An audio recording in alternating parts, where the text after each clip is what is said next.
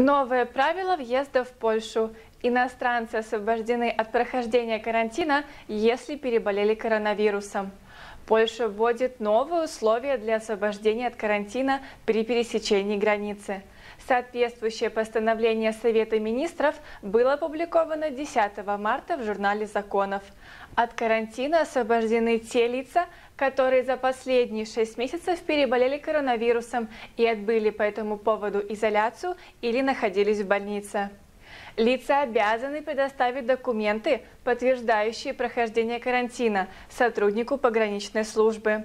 Распоряжение вступило в силу с 11 марта, поэтому иностранцы, переболевшие коронавирусом, могут пользоваться возможностью избежать карантина.